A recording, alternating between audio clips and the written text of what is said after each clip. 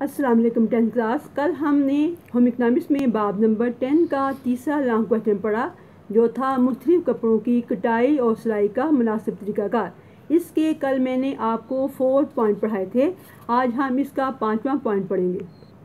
Dear student, हमारा पाँचवा point है शिफून, वायल और जार्जेट की कटाई और सिलाई।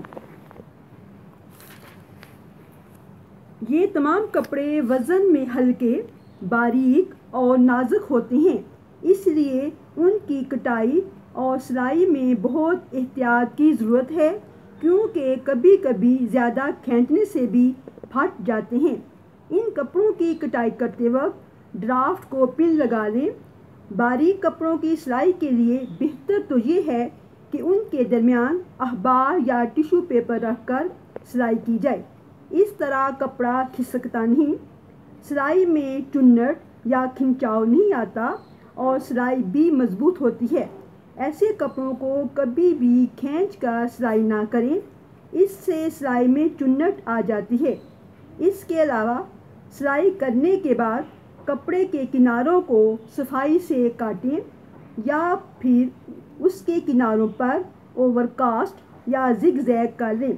शेफून और जार्जर वगैरह कीमियाई रेशों से तैयार करदा कपड़े हैं, इसलिए उन पर हमेशा नीम गर्म इस्त्री इस्तेमाल करें।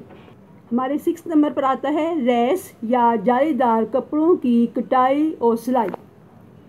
रेस या जालीदार कपड़े मोतदिल मौसम और गर्मियों के मौसम में इस्तेमाल किए जाते हैं। ये कपड़े मुख्तलिफ़ चुड़ाई में होते हैं, कुछ के किनारों पर कटाव बने होते हैं और कुछ सादा डिज़ाइन वाले भी होते हैं। लेस को किसी भी तरह काट सकते हैं, मगर सिलाई में उसकी फिनिशिंग का ख्याल रखना बहुत ज़रूरी है, ताकि सिलाई में नफासत आ सके। कटाई करने के लिए लेस को पहले बराबर कर लें, फिर उसको ड्राफ्ट पर रख कर अच्छे तरीके से पिन करने के बाद काटें। कोशिश करें कि लेस को ज़्यादा मरतबा अपनी जगह से ना हलाएँ। क्योंकि इससे लेस की कटाई में फ़र्क आ सकता है। लेस की सिलाई करते वक्त मशीन के तनाव को कपड़े के मुताबिक सेट कर लें। फिर कपड़े पर कागज़ रख कर सिलाई करें। इस तरीके से सिलाई करना आसान है। नंबर सेवन पर आता है, ब्रोकेट की कटाई और सिलाई। कपड़ों की सफ़ाई करते सिलाई करते वक्त अगर अखबार कपड़े पर रख कर सिलाई की जाए तो टांके सही और मज़बूत होते हैं। इन कपड़ों के लिए सिलाई का हक हमेशा ज़्यादा रखें और तरपाई के लिए भी अजाफी कपड़ा रखें।